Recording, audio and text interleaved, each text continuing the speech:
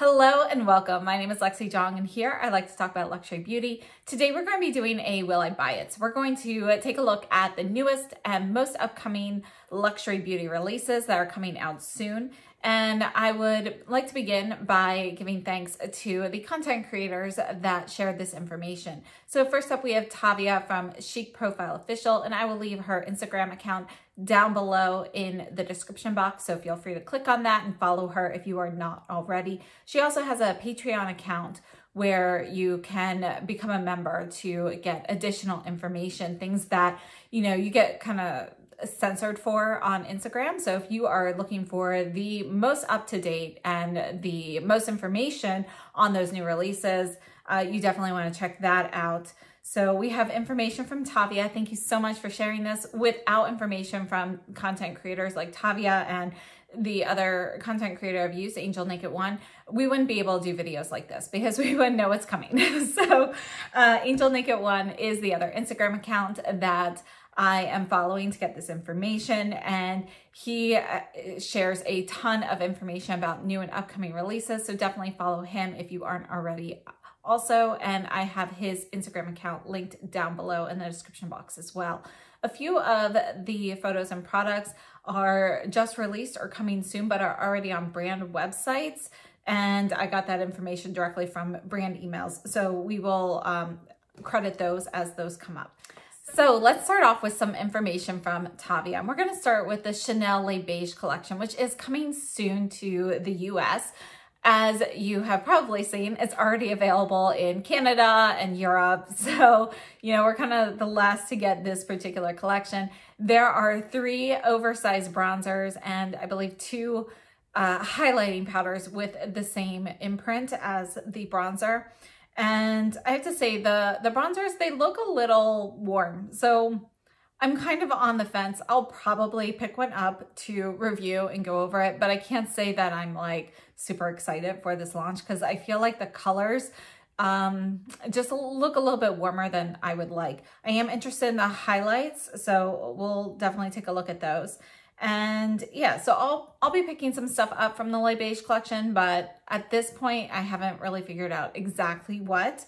If you have any suggestions, please let me know down below in the description box. Next up, we have the Guerlain eyeshadow palettes. I'm super excited for these. I talked about these in my last Will I Buy It video, but we didn't have pictures of all of the quads at that time. So uh, there are five quads that I am currently aware of. And these are supposed to be coming out in Japan July 15th. So I'm not sure when we'll get them in the US, but probably after that. so we have five quads, Exotic Orchid, Mystic Pe Peacock, Majestic Rose, Metal Butterfly, and Royal Jungle. And I have to say, I definitely want to pick up some of these. I probably won't pick up all five of them unless, you know, I see swatches and they all blow me away, but I'm not that interested in the pink ones. So uh, I definitely plan on picking up some of the other ones. Really, I, I just cannot wait. I loved their older quads that they used to have with a gorgeous like filigree packaging and so forth. I'm not talking about the ones in the holiday collections the last few years. Those have only been okay. I felt like the previous quads were a really nice formula though, and I, I really loved those. Uh, and then also coming up from Bobbi Brown, part of Bobbi Brown's summer collection is already out now. And there are three new highlighters, plus one shade came out as a re-promote. So there are four part of the collection. Three of them are brand new shades. We also have three new lip glosses. And I believe two of the shades were not new shades per se, but they're new shades to this formula if I remember correctly. Um, Jennifer at Just Glow Firefly, she has all of them and she was telling me a little bit about those particular ones. She is a huge Bobbi Brown fan. So if you love Bobbi Brown, definitely check out her channel. But I am um, potentially interested in picking up one of the highlighters and the lip gloss in the, I think it's called, I forget, Cure Sugar. Uh, so I think they look really pretty. I'll probably pick them up at some point, but I'm waiting for the rest of that collection to come out. And I know there's more, but I'm not sure exactly what else is part of it. we do have another preview coming soon from Angel Naked One. Let's just go into that now. But the these are the Bobbi Brown new cream shadow sticks. So they have reformulated their cream shadow sticks. So there will be new ones of those. And there's also going to be a new Luxe Mono Eyeshadow. I think there's only one based on the way this is written, but it could potentially be additional shades. So I'd really like to see those and I'll potentially pick up some of the Bobbi Brown. I'm not sure if all of these are part of the summer collection now or if they are a separate collection, but I, I do know that the highlighters and lip glosses are just part of summer. So either there are, these are the rest of it or there is more in addition to that. So we'll have to wait and see. Um, but yes, I am interested in certain items from there. Then also from Angel Naked One, we have the NARS Light Reflecting Prismatic Powder. And I have to say, I'm typically not like a huge NARS person. Like some things I'm interested in, some things I'm not. Uh, the Climax palette that came out last year, I absolutely loved but this powder is really calling to me. I don't know why. I think it's this blend of colors. There are two shades. There's Moonwave and Stardust. And I'm really interested in this powder. So it's supposed to be out in the US at the end of summer. And I will definitely pick pick up one, at least one of them. so can't wait to uh, try that out. We also have a limited edition lipstick, one of the slim lipsticks from YSL. And not really sure when this is coming or what part of the what collection this is part of. My guess is it might be holiday related. And I have to say, I'm not that interested. I have not found any of their slim lipstick formulas. None of them have been like favorites for me. So I just, I don't love them. uh, so I'll probably skip on that. Then we also have some previews for things coming out in the fall, like the Dior New Year's collection. And this is two limited edition backstage eyeshadow palettes. So there's a red one and a green one. I do not have any interest in the red one. Red shadows just don't look that great on me. Uh, but the green one, I'm definitely interested. I can't wait to see this. It reminds me of like Chanel Blurry Green, NARS Climax, um, you know, just a whole bunch of like kind of grungy greens. I love those. So I'm definitely interested in picking that up. But again, that's not going to be out until like the end of the year. We also have uh, the from Dior, a preview of the fall collection. Now there are no clear pictures out yet, but you can see that these are also going to be kind of those like grungy, grayish, dusky colors. And I'm very interested. I want to see more.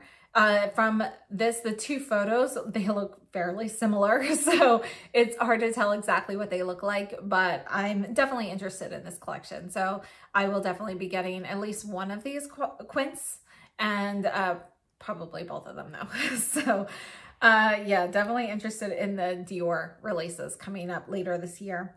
Another thing I'd like to get your opinion on the Haus Labs from uh, Lady Gaga. That is coming to Sephora. So it's kind of like going through a little bit of a rebrand, remarketing process. And I've heard, um, you know, fairly good things about the actual products. I'd like to know if you guys are interested in uh, seeing things from that brand on my channel. I have to say, honestly, I'm not that into the celebrity brands. So I think for me, I'm kind of leaning towards no, but if there's something that somebody says, oh, that's a really fantastic product, you should try it, then I would like to pick that up, if that makes sense. So yeah, only if you've heard of like a wow product. so let me know if you've heard anything like amazing uh, from that line. We also have the Charlotte Tilbury Cream Bronzer, which is coming out on Tuesday. I think that's pre-order date is Tuesday. I'm definitely interested in this. I am, I'm not the biggest Charlotte Tilbury fan. Like, uh, there are hits and misses in the brand for me, but I think her bronzers are incredible. You know, I think those are one of the best things that she does. From what I've heard, I took that Charlotte Tilbury masterclass in New York and they talked a little bit about this and just mentioned that the cream bronzer shades will correspond to the powder bronzer shades. So whatever number you wear in the powder bronzer is going to be the same number that you want in the cream bronzer. And I I have switched. I bought the powder bronzer in one, but I recently picked up powder bronzer in two because it's a better color for me and I'm really enjoying it in two. I will definitely be picking up the cream bronzer in two. The one, I asked them like, who really wears that? Because it's kind of yellow. That's really going to be for the very, very fair people who have absolutely no redness in your skin. If you've got redness in your skin, they recommend going with two uh, regardless of how fair you are. So just a heads up, that's what I got from the Charlotte Tilbury Masterclass if you've been unsure what shade might be best for you and you have fair skin.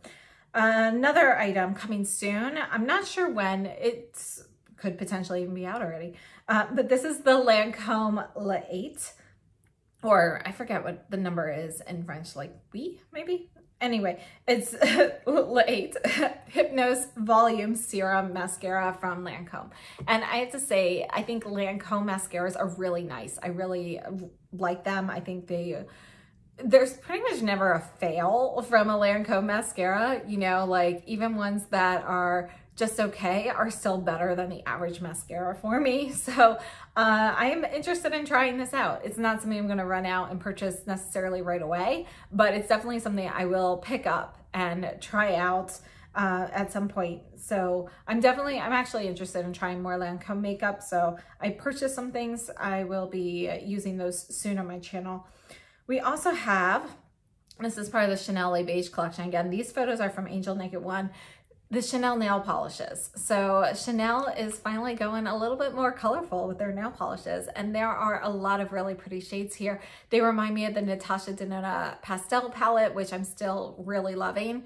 I'm definitely gonna be picking up some of these nail polishes. I think the Chanel formula is pretty nice. You know, I, I like it and I it has it wears pretty well on me you know um i'm somebody who when i wear nail polish i have to change every couple days because nail polish will inevitably, I'm very rough on my nails. It doesn't last very long for me. Even the long wearing ones, you know, I'm hoping to just get a few days without chipping, even with a top coat. And uh, Chanel is going to be one of the longer wearing ones on me. So I really like their formula and I really like the colors in this. So I'll definitely be picking up some potentially all of these. Let me know which shades are your favorite. There's also a cuticle oil, which I don't know. I'm terrible about putting on cuticle oil, so I might get that, I might not. Um, but yeah, definitely interested in the nail range. And then I think that's it from Angel Naked One. A few other new items. Lisa Eldridge just recently released the Pink Moon highlighter. I have to say I do like her highlighting serums. I think they are they're nice, um, but it's not something that I'm going to run out and pick up right away. I know she will be releasing um, some new lipsticks relatively soon. I don't know exactly when, but that's something I might add on to an order in the future. But I'm just, I had such a, a not great experience with when she released the blushes and the highlighters that I'm kind of just like, um, maybe I'll get it, maybe I won't. So uh, I'll probably pick it up at some point, but I'm not in a rush for that. The photo here, though, is from the Lisa Eldridge uh, Instagram account. We also have LH Cosmetics. So this is the Linda Hallberg Cosmetics. And if you're not familiar, they do ship to the US, but she's in Sweden and everything's like vegan and cruelty free and everything. So uh, I believe fragrance free for everything as well. I'd have to double check on that. But she's releasing a new eyeshadow palette called the Daybreak palette. It is on the website so you can see it, but it's not available for purchase yet. She also has a new shaping light, which is looks like um like a cream highlighting fluid or something. Um, so I'm actually I'm very interested in the palette to be honest. the colors they're my kind of colors. I really like the like lavender shades and so forth in there and the grays. So definitely want to get that and I'll probably pick up the shaping light at the same time. And there were a few other products that she's come out with over like the past year that I haven't picked up yet that I'll probably just add on to the order. And then last up, we have Rouge. So the Rouge Face Palette. This just came out this past week and just say I'm kind of interested in this. I'd like to know if you guys are interested in seeing more about this line because um, yeah, I, I figure if I order this face palette, I'd like to add some other items onto the order because I have to pay for shipping unless I spend $300. Um, so I'll probably add a few other items and I'd like to know uh, what items in particular you'd be interested in seeing from this brand. I've heard really good things about the brand, particularly their lip palettes, which are supposed to be, from what I've heard, better than the Westman Atelier lip palettes. Um, the one palette is supposed to be almost identical in shades to the uh, first Westman Atelier lip palette, the, the one with the reds but I've heard that the formula is not as drying. So I'm curious about that, but I'd like to know if there's anything else that you guys are interested in seeing on my channel from this brand. So if you've tried it, let me know what you think. And if you haven't tried it, but you're interested in seeing things, let me know what you'd be interested in seeing. And that's everything for this edition of Will I Buy It? But let me know what you guys are interested in and what you want to see. Any like faves or fails recently, that would be great as well. Thank you so much for tuning in and I hope to see you very soon. So have a great day and stay safe and healthy.